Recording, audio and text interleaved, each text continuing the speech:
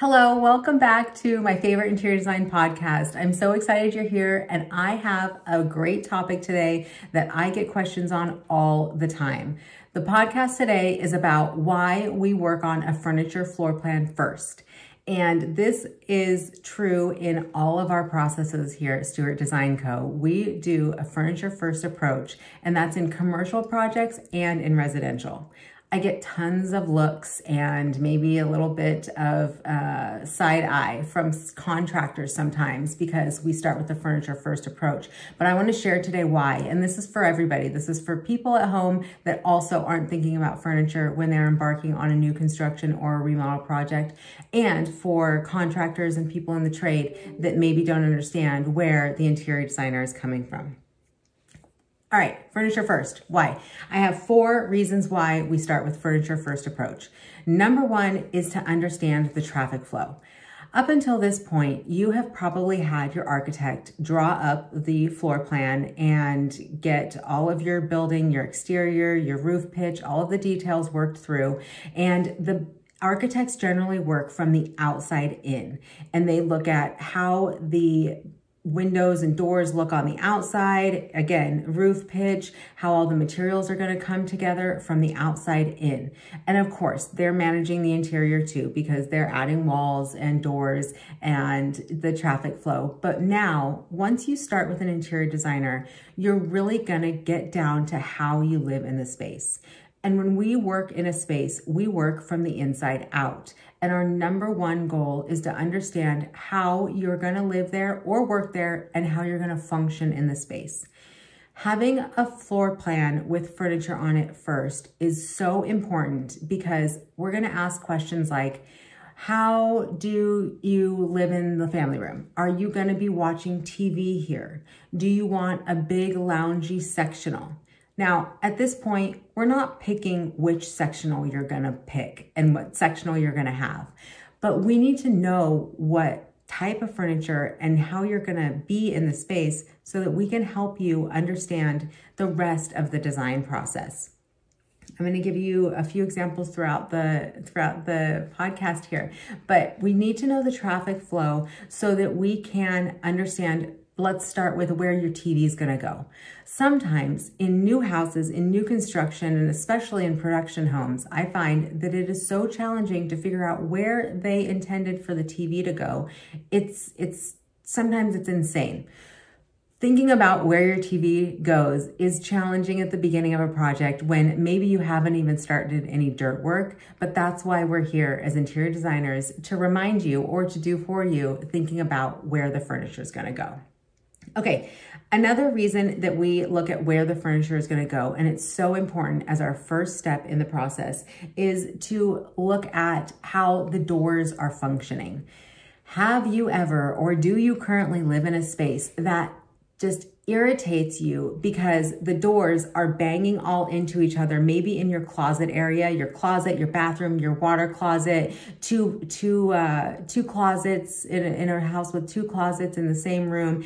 And nobody thought about how the doors were going to open and who was going to be where. Well, that's what we're thinking about we will look for any opportunities to put in pocket doors and pocket doors are one of my favorite things. I believe they're controversial in the design industry, but I love pocket doors, especially a good pocket door with upgraded hardware that has soft close. So think about pocket doors and, you know, this isn't your grandma's pocket door where they're hollow and noisy and loud and banging around. We're specifying good pocket doors that are gonna make you function in your space and make it so much more, make the flow go, all right? So we're looking at the furniture because we want to understand how you're going to live in the space to manage actually the furniture that you're going to have. And then we also want to take a look to understand where there's opportunity to change door functions and traffic flow pattern. The windows. Again, when the architect is designing the project, they're looking at it from the outside in.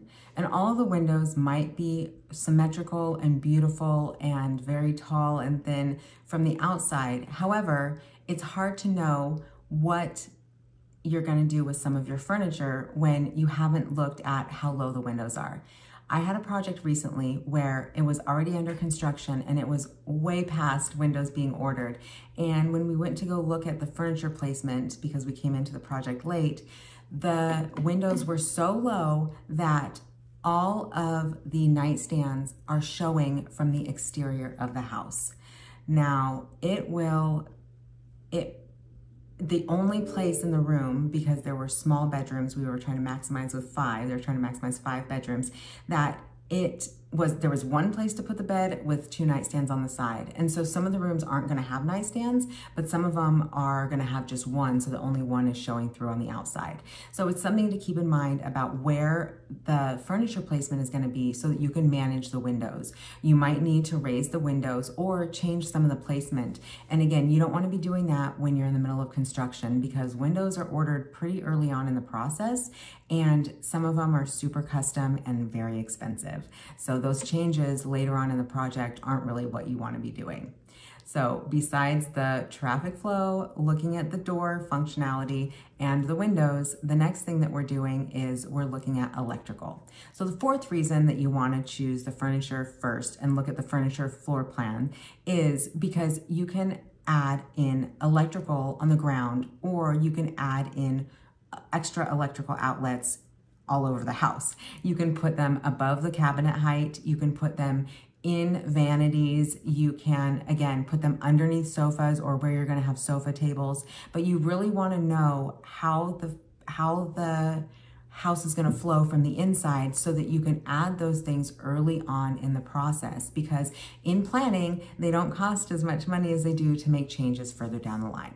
So I want to reiterate our four main reasons for choosing furniture first floor plan opportunity is to manage the traffic flow and understand what how you're going to live in the space, to look at the door functionality, look at window functionality, and to be able to make changes to the electrical, make it more livable space early on in the process.